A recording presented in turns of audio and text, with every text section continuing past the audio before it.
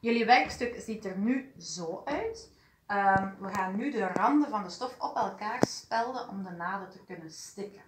Daarvoor moet je je werkstuk met de goede kant naar boven op de tafel leggen. Eh, je moet ook zorgen dat de tekening niet ondersteboven staat. En je vouwt de linkerhelft op de rechterhelft.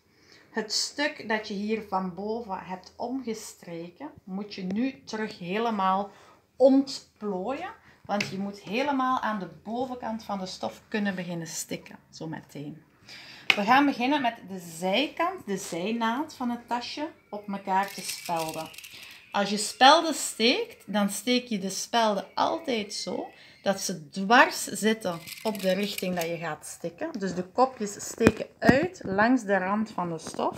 En je begint met de uiteindes en je werkt naar het midden toe. Dus je begint met de uiteindes, je steekt een speld in het midden daarvan.